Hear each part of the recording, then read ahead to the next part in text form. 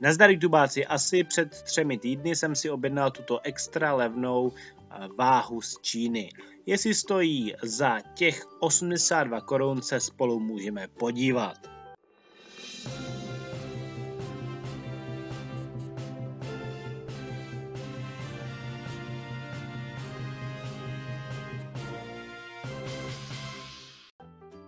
Samozřejmě se spolu můžeme podívat, co se mi na ní líbí nebo nelíbí, ale konečný soud nechám na vás. Tahle ta váha je opravdu kapesních rozměrů. Nepřeměřoval jsem ji, nicméně je přesně stejně velká jako můj stařičký mobil Samsung Galaxy Ace 2 a váží pouze do 200 gramů s přesností uvozovkách přesností na dvě desetiná místa a stála pouhou pouhých 82 korun i s poštovným, nicméně tu krásnou krabičku k ní nedostanete. To, že mi balíček přišel až z daleké Číny, můžete vidět na tomto obrázku. Samozřejmě zakryl jsem adresu, zás takový sdíleč nejsem. A my se hnedka spolu podíváme na první dojem. Jak jsem řekl, tu krásnou krabičku k ní nedostanete. Přišla zabalená takto pouze v Miralon folii, v igelitovém sáčku s dvoustránkovým pidi návodem, z kterého se toho taky moc nedočtete. Ale pár důležitých informací se tam dozvíte.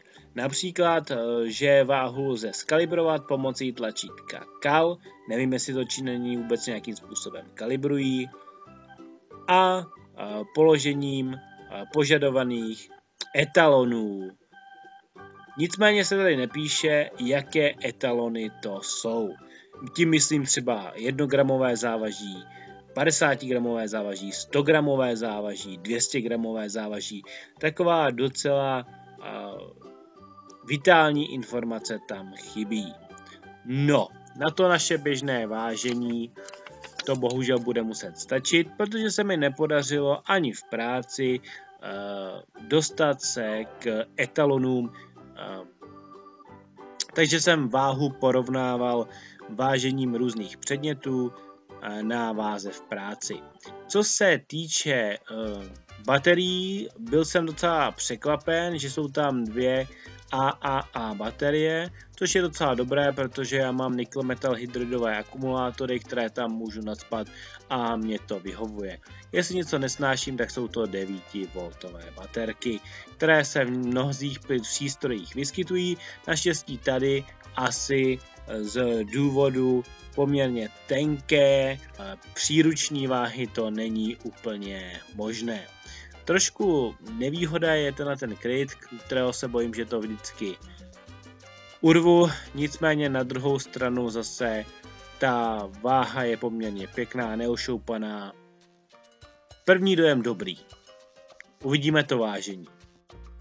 Prvně pár eh, fotek uvozovkách vzorků, které jsem si vytvořil z běžných užitkových předmětů v práci.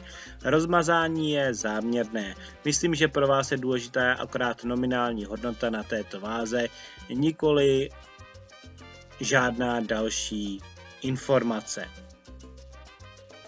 E, a teď mi dovolte vážit znova jednotlivé předměty na čínské váze a zapisovat hodnoty od zhora dolů. Nejprve porovnání hodnot, tak jak byly naváženy v práci, na regulérní skalibrované váze, potom první hodnota navážená tady a potom jakýsi pokus o opakování.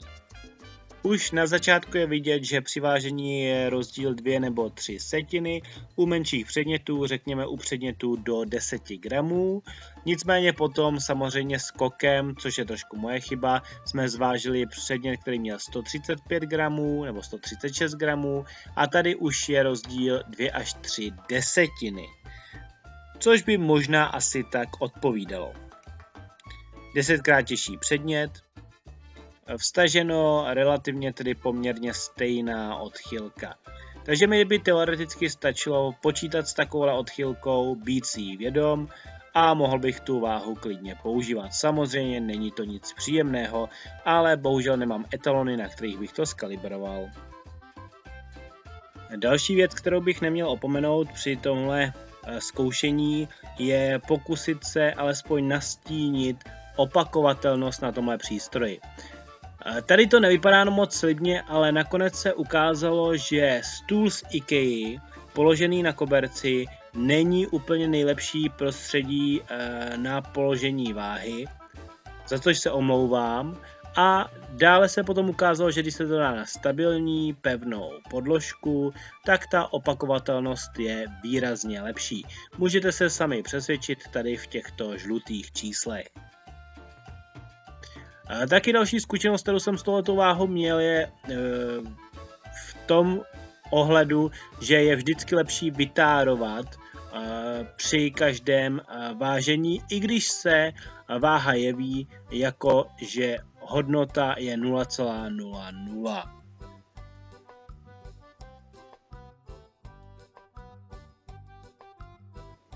Takže výsledky můžete vidět sami, není to nějak dvakrát přesná váha, je tam od, odchylka uh, u předmětu do 10 gramů asi 3 uh, eh, setiny, opakovatelnost více méně bych řekl, že je docela dobrá, a pokud se váží ty menší předměty. U těch větších předmětů záleží, kam ten předmět uh, postavíte. Jak říkám, není to úplně přesná váha, pro ten, hlavně pro ten účel, pro který je zamýšlena, protože byla advertizována eh, jako váha do zlatnictví, váha na vážení eh, vykupovaných zlatnických předmětů, tak tady bych trošku jako k tomu měl výhrady, přece jenom u zlata i setina gramů hraje docela roli, ale na ty moje chemické pokusy to stačí. No a za 82 korun i s poštovným musím říci, že na ty moje pyromanský chemické pokusy je to velmi pěkný. Na to až ji poleptám kyselinou, bude dobrá. Pokud to nevydrží, objednám novou. Takže jo, já vám děkuji za zhlédnutí, jste skvělý publikum, pokud máte eh, nějaký dotazy, komentáře, tak je určitě napište, sdílejte, lajkujte, komentujte, ale hlavně, hlavně se mějte super.